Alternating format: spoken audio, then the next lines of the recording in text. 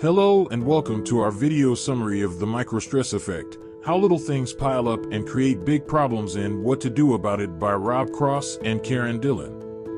In this video, we will share five key insights from the book that will help you understand how small moments of stress can pile up and create big problems in our lives, and more importantly, what you can do about it. The book explores the insidious effects of microstress, which is a hidden epidemic of small moments of stress that we encounter every day. Unlike regular stress, which can trigger the normal stress response in our brains to help us deal with it, microstress doesn't always do that. Instead, it slowly infiltrates our minds and accumulates daily, one microstress on top of the other, leading to long-term physical and emotional health issues, as well as a decline in our overall well-being. However, the good news is that once we understand microstress, we can fight back. The authors share insights from their research and compelling interviews with high achievers who've managed to build resilience against microstress despite the challenges they've faced. They also provide practical tips and strategies that will help us cultivate relationships that enable us to thrive both at work and in life. Rob Cross is the Edward A. Madden Professor of Global Leadership at Babson College and co-founder and director of the Connected Commons, a consortium of over 150 organizations. He is a world-renowned expert in social networks and has published numerous articles and books on the topic. Karen Dillon is a New York Times best-selling author and former editor of Harvard Business Review. She is also a member of the faculty of Intermountain Healthcare Leadership Institute. To get the most out of the book, we highly recommend that you listen to the audiobook version, which you can get for free through our link in the video description. The audiobook version will not only help you deepen your understanding of the insights shared, but also allow you to learn on the go. In this video, we will share five key insights from the book, which will help you combat microstress, build resilience, and find purpose in your life. So, if you want to learn how to overcome microstress and live a better life, then subscribe to our channel and let's get started.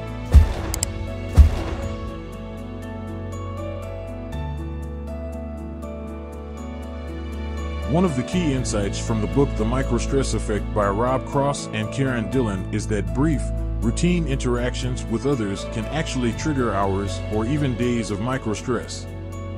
This microstress can accumulate and become debilitating, affecting both our physical and emotional health and ultimately contributing to a decline in our overall well-being. To illustrate this point, the authors provide an example of a single email that catapulted Rita and her colleagues into a spiral of panic.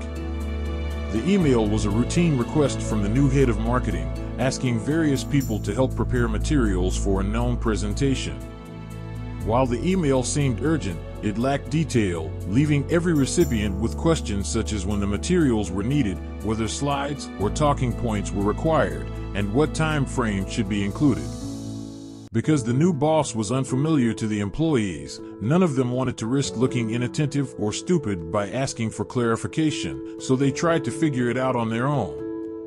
This led to a flurry of emails across the marketing department as Rita and her colleagues tried to read between the lines and gather the necessary information.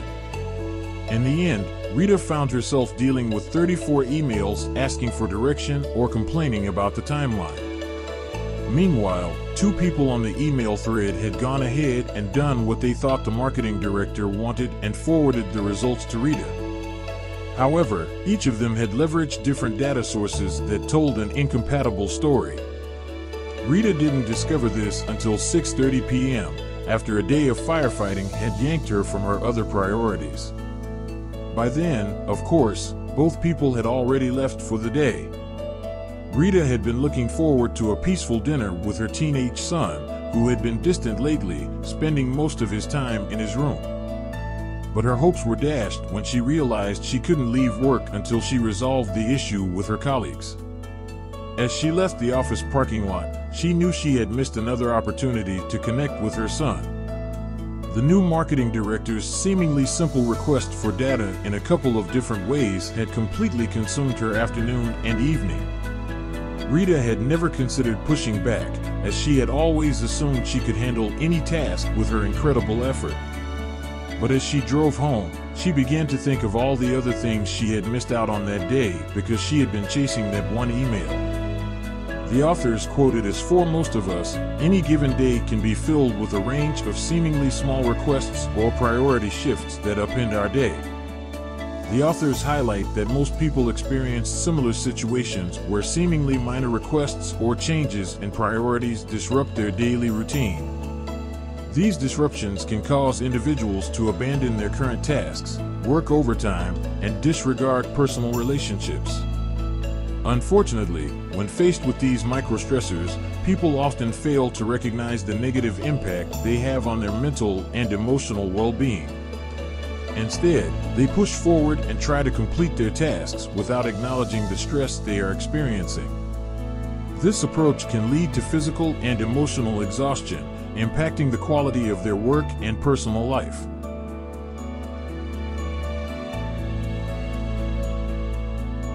The impact of tiny moments of stress, also known as microstress, may be hard to spot, but it can take a very real toll on our brains and bodies. It's important to pay attention to microstress because it's ubiquitous in our daily lives and can be particularly harmful due to its volume, intensity, and pace. According to neuroscientists, microstress can happen so quickly in the course of a routine day that it can go unnoticed by our fight or flight vigilance systems while still exerting a significant toll on our bodies. Even if our brains barely register these individual microstresses, and we may not even remember the original source of the stress, our bodies know that something has happened. Therefore, it's crucial to acknowledge and address the impact of microstress on our overall well-being. As the authors point out, microstress is the sand in the gears of our lives.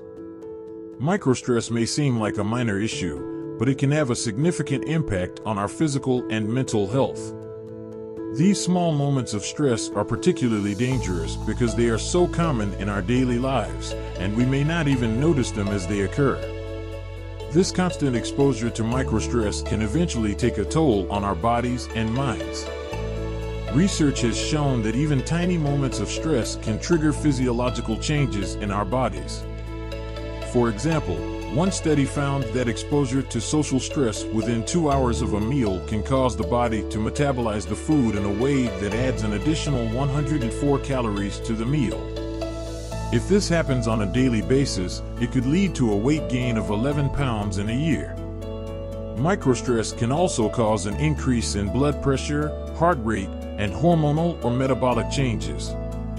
While our brains may not register these individual microstresses, our bodies do, and they can add up over time.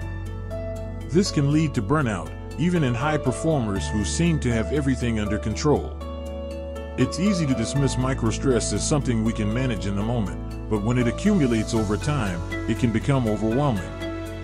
We may find ourselves feeling exhausted, irritable, and unable to focus.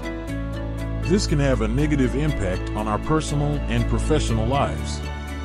It's important to recognize the impact that microstress can have on our health and well-being. Taking steps to manage stress and prioritize self-care can help us cope with the constant barrage of small stressors that we encounter on a daily basis. How many of us have the feeling that we can't even start our own work until the end of the day? Or after we spend our day in meetings or chasing requests from others. In today's fast-paced world, we are constantly bombarded by microstress that we may not even realize. It is the little things that add up, and before we know it, we are feeling overwhelmed and burnt out. But where does this microstress come from? Microstress, which we often fail to recognize, can have a significant impact on our overall well-being, despite its seemingly small size. This kind of stress is all around us, embedded into the fabric of our everyday lives.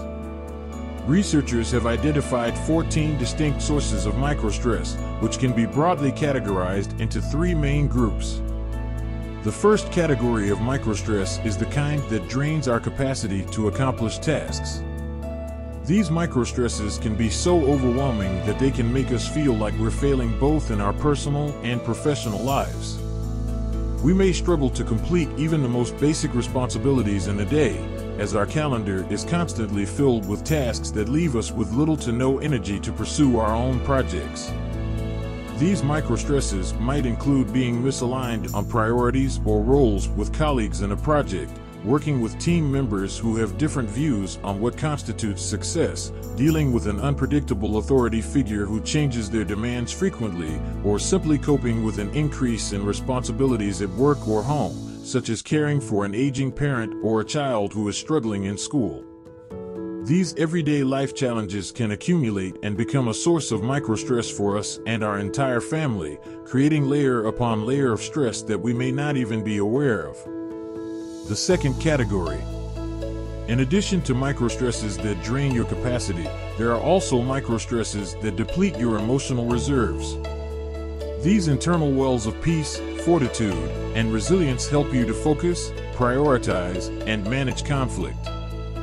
The people who cause us microstress are often those who are close to us personally or professionally, which can make the microstress we feel during our interactions with them even more emotionally complex.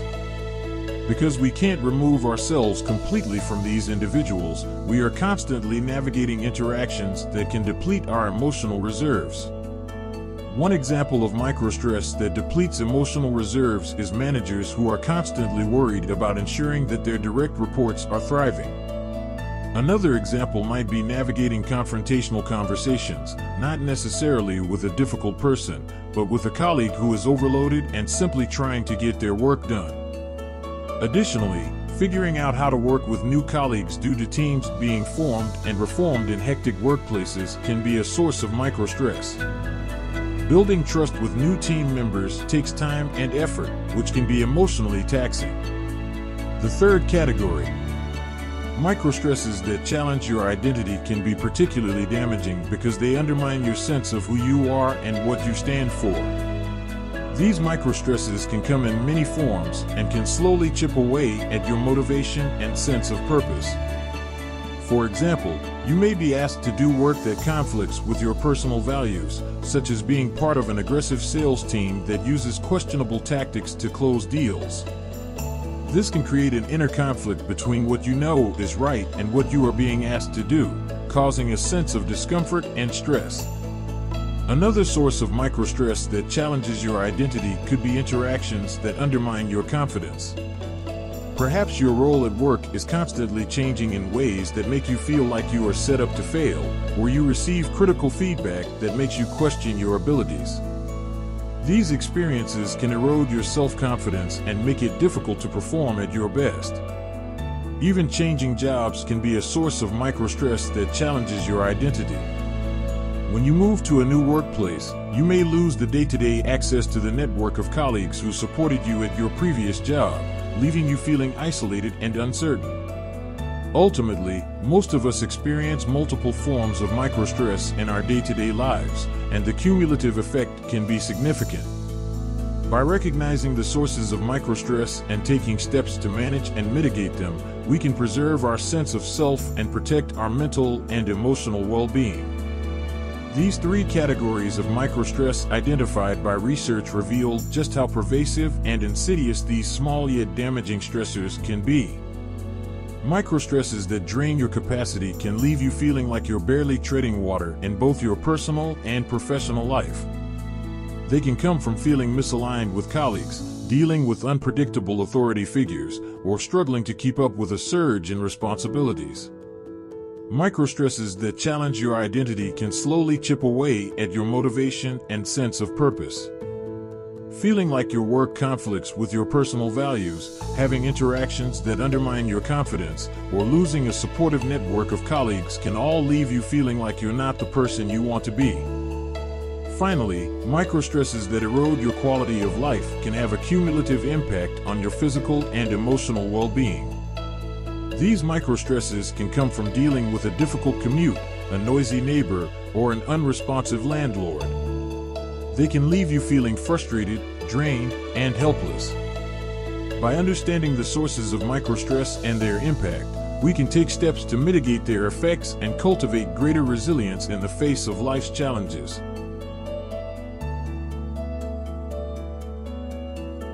The impact of removing even a few negative interactions in your life can be tremendous. The question then becomes, what can we do to address the constant stream of microstress that pervades our daily lives? Traditional advice for improving our overall well-being often involves strategies like mindfulness, meditation, or gratitude, which can help refresh our minds and bodies.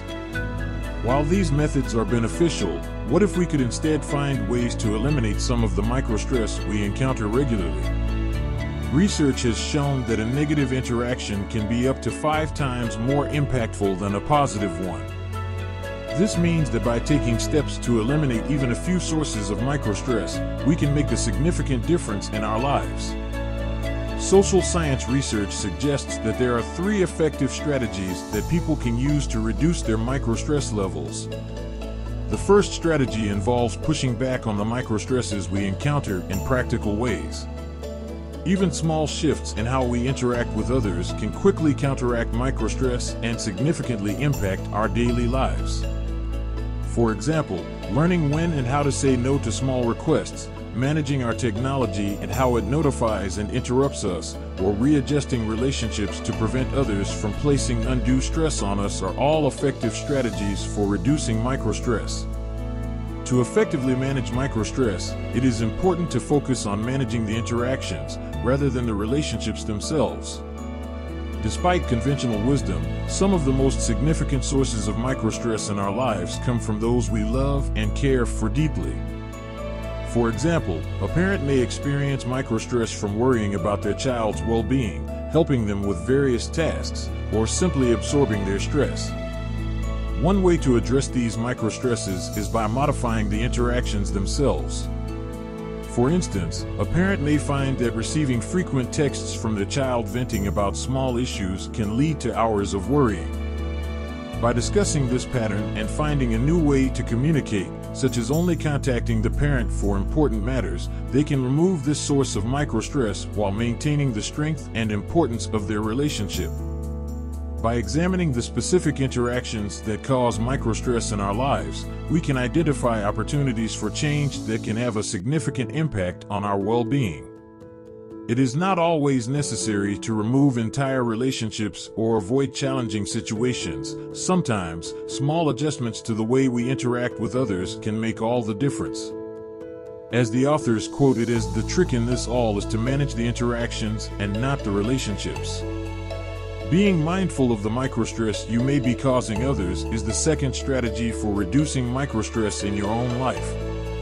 Surprisingly, research shows that the microstress we experience is often the same as the microstress we cause in others.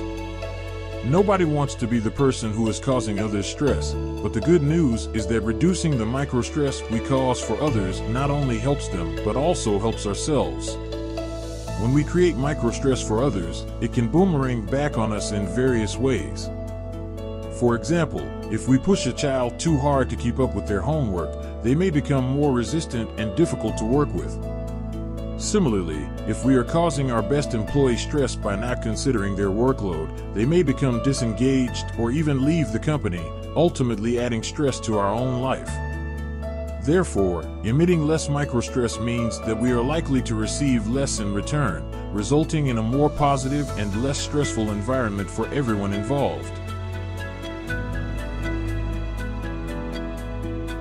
The final strategy found in research involved finding ways to rise above microstress. One reason some microstresses affect us is simply that we let them. You can learn to keep some of them in perspective and let things that used to bother you just roll off your back. This is not just a call to see life through rose-colored glasses. We recognize the toll that microstress can take on all of us. In order to effectively manage microstress, it is important to develop a multidimensional life. This involves pursuing activities and group experiences that create a rich and diverse network of connections with others. By doing so, we can better cope with microstress and put it in perspective. Those who are able to cope with microstress the best are often the happiest people, as they make a conscious effort to shape their lives in a way that helps them better manage stress. Whether it's participating in a weekly basketball game or maintaining a group chat with close friends, finding dimensionality in our lives can provide us with moments of genuine connection and help us recognize when things are not worth getting stressed over. By building multidimensional lives, we can help inoculate ourselves against the negative impact of microstress and lead more fulfilling lives. Building on the previous point, research has shown that the happiest and most resilient individuals are those who have a rich, diverse, and multidimensional life. These people not only actively seek out opportunities for authentic connections and shared experiences with others, but they also consciously work towards creating a well-rounded and fulfilling life. This means pursuing interests and hobbies that are different from their work or primary responsibilities, spending time with friends and family, and engaging in activities that help them relax and unwind. When we have a multidimensional life, we are better equipped to cope with the micro stresses that inevitably come our way. We have a broader perspective and can see beyond the immediate stressors to the larger picture. Additionally, these varied experiences help us build resilience and develop a sense of purpose and meaning beyond our work or personal responsibilities. For example, someone who is passionate about painting might regularly attend art classes or join a local art community. In doing so, they not only develop their creative skills, but also expand their social circle and find a sense of belonging. Similarly, someone who enjoys playing sports might join a recreational league or start a pickup game with friends every week. These experiences provide an outlet for physical activity, social interaction, and stress relief.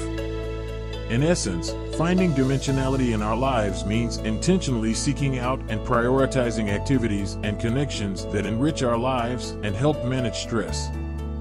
By doing so, we can not only cope better with microstress, but also find greater fulfillment and happiness in our lives. Taking steps to add dimensionality to your life can have a significant positive impact on your well-being, even if it's in small moments. It doesn't have to be a major time commitment, but finding ways to connect with others can make a big difference. For example, a neurosurgeon discovered the joy of playing music again by joining a local band that met on weekends, and connecting with younger musicians brought a new dimension to his life. Similarly, one person found pleasure in working in his yard and connecting with neighbors, while another played soccer with parents and children, building new relationships, improving his physical well-being, and spending time with his own children.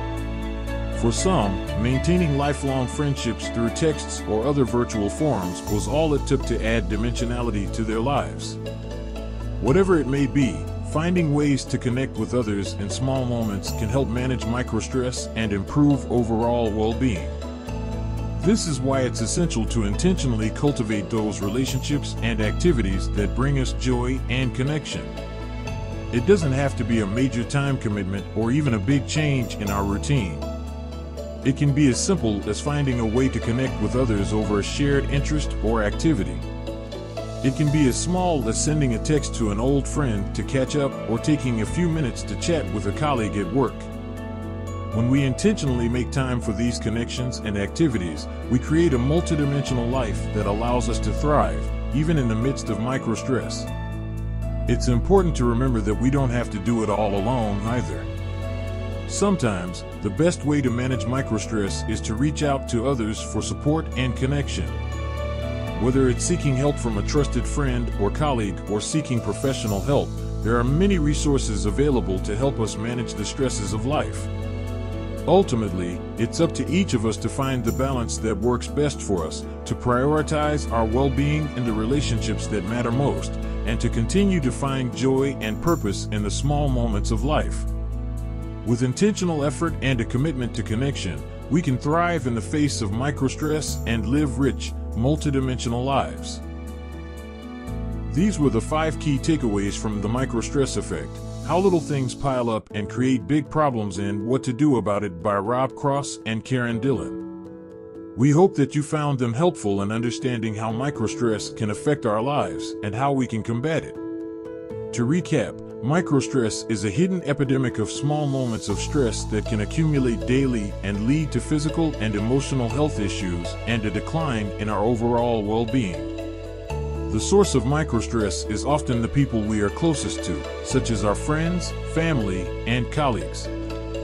However, once we understand the science behind microstress and the secrets of high achievers who've managed to build resilience against it, we can fight back and find purpose in our lives. Rob Cross and Karen Dillon explain the phenomenon of microstress through fresh research and compelling interviews with high achievers who've endured their share of microstress but have still managed to cultivate relationships that enable them to thrive both at work and in life.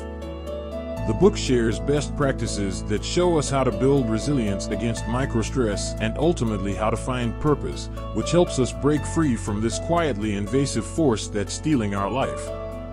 To get the most out of the book, we highly recommend that you grab the audiobook version for free through our link in the video description.